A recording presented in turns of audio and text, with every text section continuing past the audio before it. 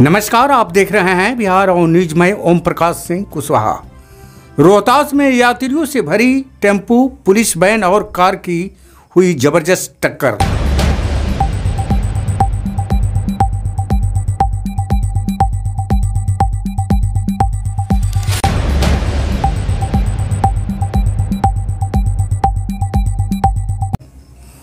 Tempo पर सवार पाँच लोग हुए घायल, जबकि पुलिस वैन में सवार चार पुलिसकर्मी हुए घायल।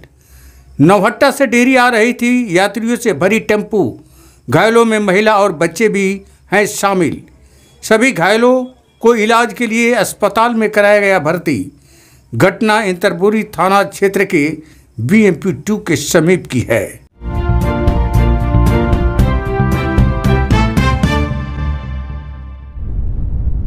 खबरें विस्तार से।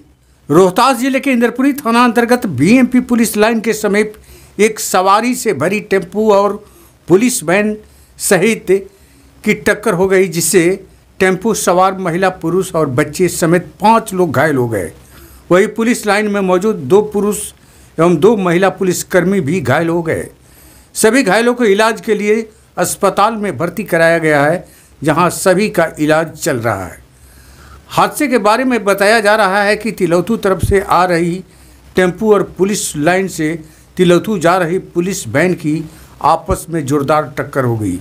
उसके बाद एक कार भी अनियंत्रित होकर दुर्घटनाग्रस्त हो गई। तीनों गाड़ियों की आपस में जोरदार टक्कर हुई जिससे आधा दर्जन से अधिक लोग घायल हो गए। स्थानीय लोगों द्वारा कुछ देर के लिए डेहरी तिलौथू मार्ग को जाम कर दिया गया।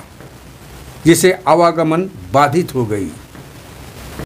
जिसके बाद घटना स्थल पर पहुँची इंद्रपुरी थाने की पुलिस ने हंगामा कर रहे लोगों को समझा बुझाकर सड़क जाम को हटाया और सभी घायलों को इलाज के लिए अस्पताल में भर्ती कराया। वही घटना में टेंपू चालक राकेश कुमार की गंभीर स्थिति बनी हुई है। घायलों में महिला, पुरुष और बच्चे भी शामिल हैं। Bihar on news bureau channel को लाइक एवं सब्सक्राइब ज़रूर करें। ताकि अगली खबर आपके पास आसानी से पहुँच जाए। नमस्कार जय हिंद।